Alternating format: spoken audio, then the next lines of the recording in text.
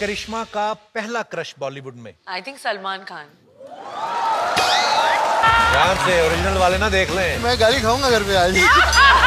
The great Indian Kapil show के चौथे episode ने खूब धमाल मचाया। शो में मेहमान बनकर करीना और करिश्मा कपूर आई थी। कपूर बहनों ने फूल तहलका मचाती हुई नज़र आई। फ़िल्मों में भले दोनों अब तक साथ नज़र न आई हो लेकिन शो पर इनकी मज़बूत बॉन्डिंग खूब दिखी। बीते एपिसोड में दोनों बहनें साथ में the great Indian Kapil Sharma show में एंट्री ली। शो में करिश्मा और करीना ने एक दूसरे की पोल खोलती दिखी। The great Indian Kapil show के एपिसोड में दोनों बहनें एक दूसरे के कई राज से पर्दा उठाते नज़र आए। कपिल शर्मा, करीना से पूछते हैं कि उन्हें करिश्मा की किस आदत पर ज़्यादा गुस्सा आता है। इस पर करीना कहती हैं, ये तैयार होने में बहुत ज़्यादा टाइम लगाती है। इसके बाद करिश्मा भी कहाँ चुप रहने वाली थी। उन्होंने भी करीना की पोल पट्टी खोल कर रख दी। करिश्मा ने कहा, काफ़ी सारी ऐसी फ़िल्में हैं जिसे देखने के लिए मैंने बेबो को भेजा कि जाकर देख लो। ये लौटती थी और कहती थी कि क्या बकवास मूवी तुमने मुझे देखने के लिए भेजा। करिश्मा के इस बात पर वहाँ मौजूद सभी लोग चाह के लगाने लगते हैं। कपिल करीना से सवाल करते हैं, करीना या सैफ में से किसने पहले कहा था कि वह उन्हें लाइक करते हैं? करीना जवाब देती है, जितना मैं खुद को जानती हूँ, मैंने ही उनको बताया होगा।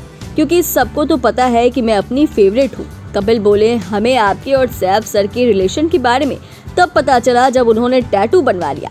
इस पर करीना बोली, मैंने ही बोला था टैटू बनवाने के लिए। अगर तुम मुझसे प्यार करते हो तो मेरा नाम लिखो। इस पर सभी ठहाके लगाने लगते हैं। इसके बाद कृष्णा अभिषेक की एंट्री होती है। वह करिश्मा से आकर हँसी मज़ाक करते हैं और नाचते नज़र आते हैं। वह करिश्मा के साथ what is mobile number hook step करते हैं। करिश्मा बोलती हैं, चीची भैया के साथ एक दिन में गाना सूट होता था। कृष्णा अपने मामा को मिमिक्री करते हुए बोलते हैं, ये जो आपने भैया बोला है, यह बात मुझे अंदर तक लगी है।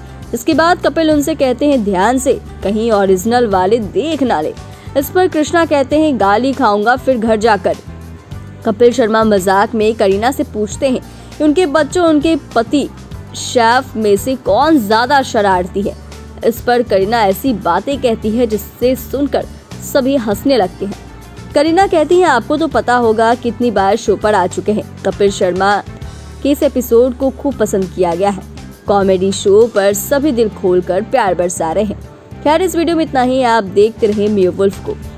जाते जाते हमारे चैनल को सब्सक्राइब ज़रूर कर दे। साथ ही हमारे फेसबुक पेज को भी लाइक कर दे। वीडियो देखने के लिए शुक्रिया।